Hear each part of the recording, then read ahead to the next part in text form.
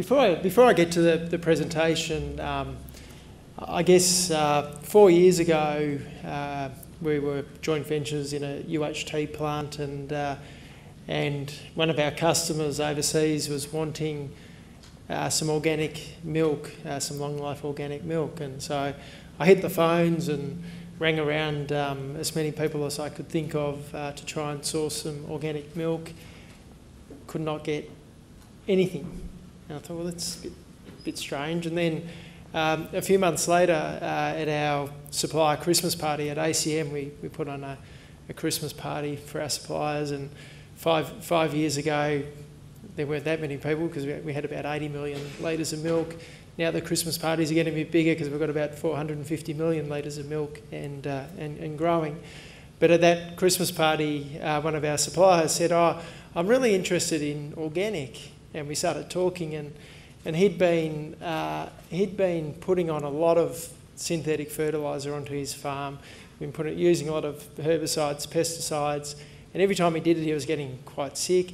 He was noticing that his farm, the soil was getting harder, and one year he decided, oh, well, I'll just cut back a bit on, on the fertiliser. And, uh, and uh, he, uh, he noticed uh, very quickly that the farm started to, to actually go backwards. So he rang his, rang his uh, fertiliser rep who came and told him, what are you doing? He said, well, I've, I've cut, cut back a bit because you know, I just don't like what it's doing to my soil. He goes, no, no, no, no, no. He said, you've got to put more on, more on, more on. And, and with this, the farmer said, oh, the only moron around here is me because I'm, I'm spending more money every year and my land's going backwards. And so, with that, uh, this farmer who's just out of Camperdown, who's now uh, certified organic, went to a composting system and he's seen a real change uh, in, his, in his land. And if we get time, I'll, I'll get to a short video on that. But um, so, really, today I just want to sort of share our experiences in, in what we've learned about uh, going down the, the organic path and, and really working with our suppliers who, who wanted to go down that path within our network of suppliers, but also people from outside of our network of suppliers who have, who have come in. And, and it's really, uh, we, we call it busting the myths about organic milk because there's a lot of people who tell you why you can't do it. And uh, we, we feel as though we've put together a, a package of support that actually helps people do it.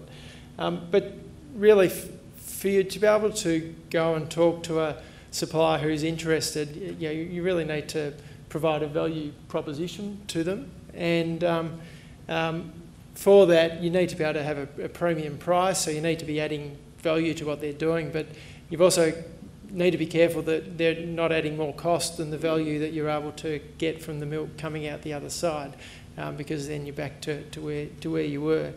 Um, the path to becoming an accredited organic dairy farmer is, is three years.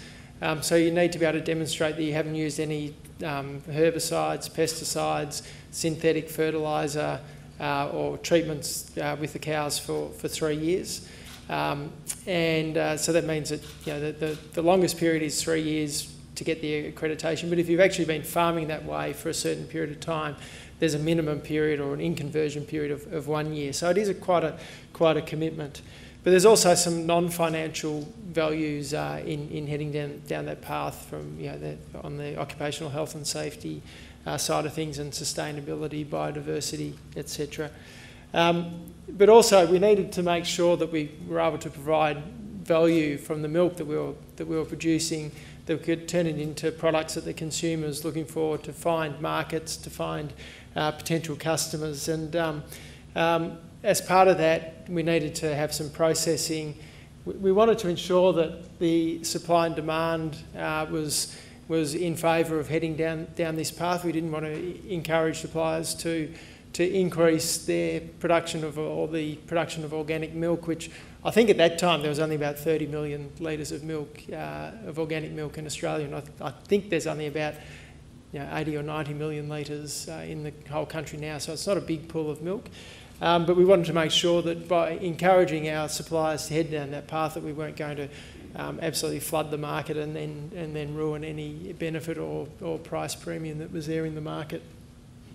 We also, uh, quite topically, um, we wanted to make sure we could access uh, markets, and there's been some really good work uh, by the Australian government in, in uh, reducing or, or, forming the uh, FTAs. You know, China's a big one, you know, Indonesia in the last 24 hours. So these things are, are really big benefits for, for everyone in agriculture and particularly in dairy.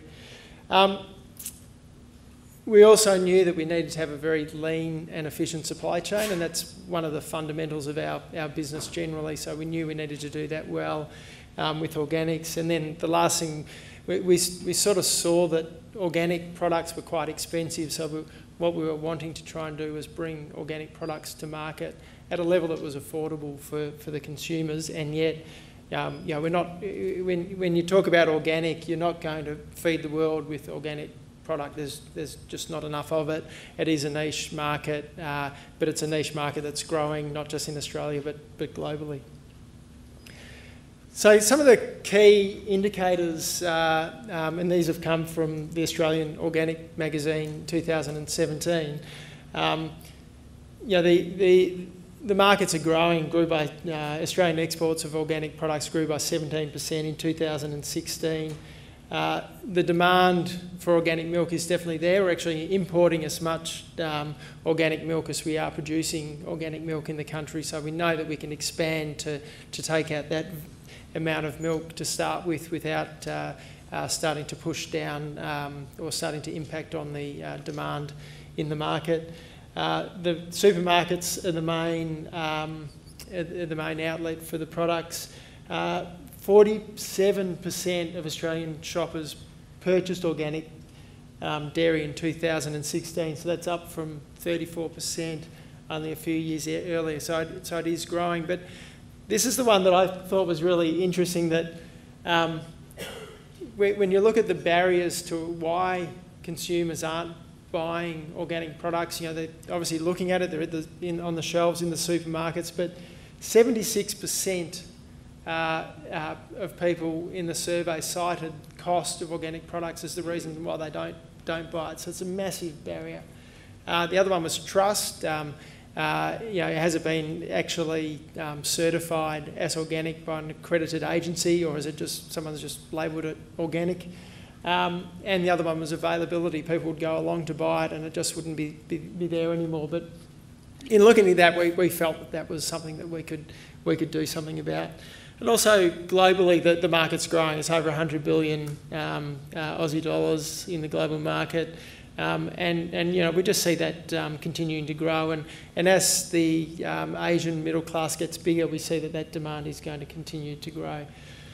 So when we first started talking to our farmers about it and other people about you know, you know, what, would, what it would take to become an organic dairy farmer, everyone seemed to come up with a reason as to why you can't. Oh, I can't do it because you know it's going to ruin. You know, I can't live without my fertilizer and and you know, all the, you know all the weeds. You know, what am I going to do about the weeds? And oh, yeah, apparently there's there's no organic feed around. You can't get organic grain, and if you do, it's a thousand dollars a ton, which it probably is at the moment. But um, you know, very expensive. And oh, look, I love my I love my cows too much. I, I, couldn't go to a system where I don't look after my cows. Um, and then you know, people say, oh yeah, but the costs are so much, and I'm not going to be able to produce as much as much milk, and you know, my solids are going to drop, and so there's all these reasons. And then other people, of course, you know, no one likes doing administration, and then like, oh god, all the paperwork I'd have to do. I, I don't, I don't want to do that. So we looked at them and thought, oh yeah, there's a fair, there's a fair few hurdles here that we, we need to try and try and look at. But it was amazing. The more, the more we looked at it, and the more people we spoke to, we actually worked out, well, we actually think we can do this and we think we can actually help our suppliers get there.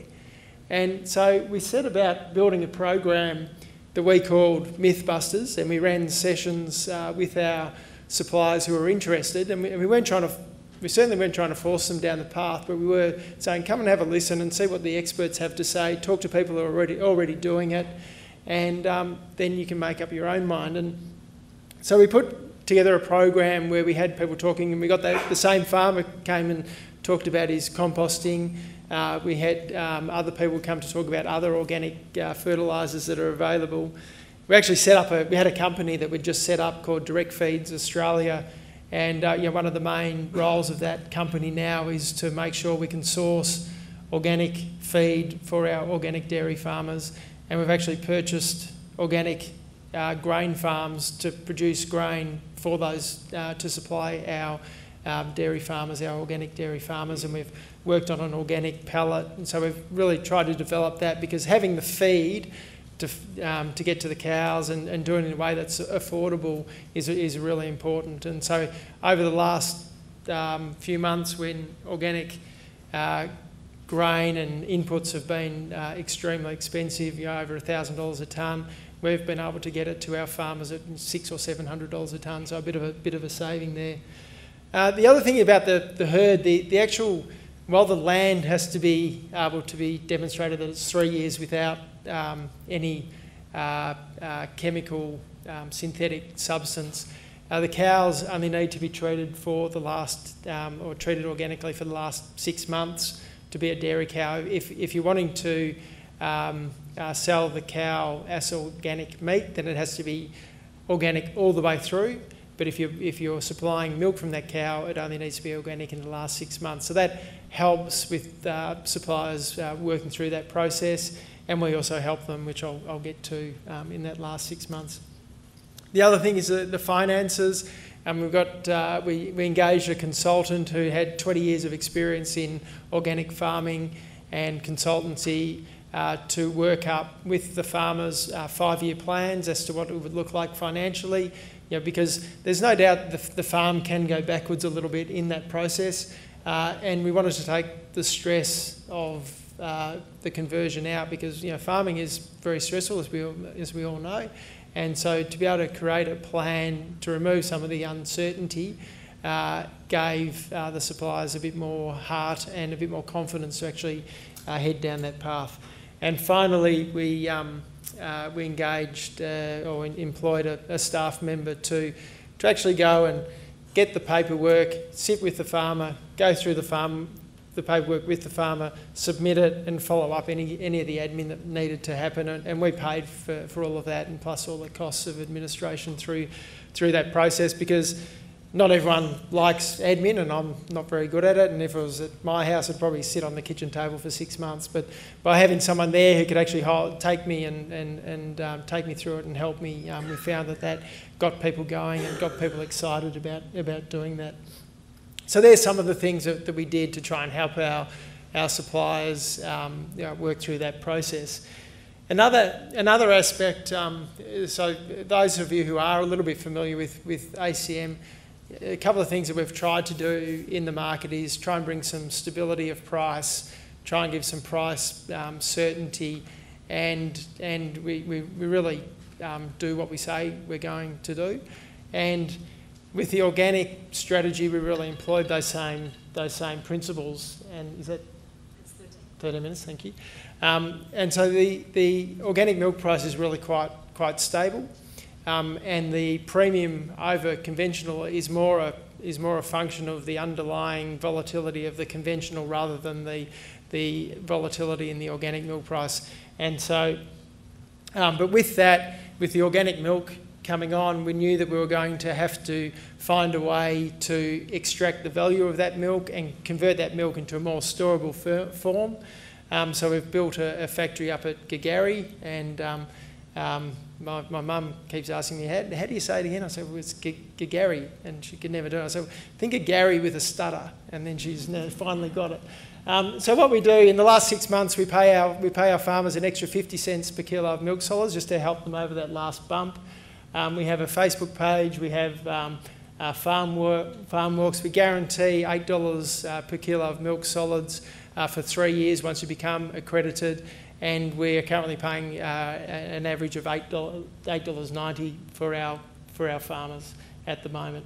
Um, just quickly, yeah, so, so for us to be able to, to extract the value, um, we need to be able to convert the milk into um, powder. So we're making skim milk powder, whole milk powder, um, butter, um, we're making cheese, uh, and, and, we can do fresh milk as well, and that'll be for the domestic and export markets. We've done a, a contract with Bellamy's. They've been uh, fantastic supporters of ours, and um, uh, we've also, for the first time in our his, in our um, history, which is we're about to start our 12th year as a company, um, we're, we're launching our own brand. So we're we're really doing everything we can to to help uh, support our suppliers and support the, um, the organic products, and they'll be in supermarkets very soon. So finally, um, uh, going back to the original slide, um, the, the price uh, it's you know 50% more than uh, current conventional and it's less volatile. We've got the uh, support program in place. Uh, we can demonstrate that it helps suppliers' bottom line. It's not for every supplier. If you're an intense, very intensive dairy farmer, it's probably not going to work for you with high inputs, lots of grain. But if, if you're grass pasture based and want to follow the milk curve, that's fine. We don't mind how, how peaky the milk is coming to us now that we've got the factory to process it. So I think I've covered pretty much everything there. So yeah. finish up. Pursue more with questions. Okay, thank you. Do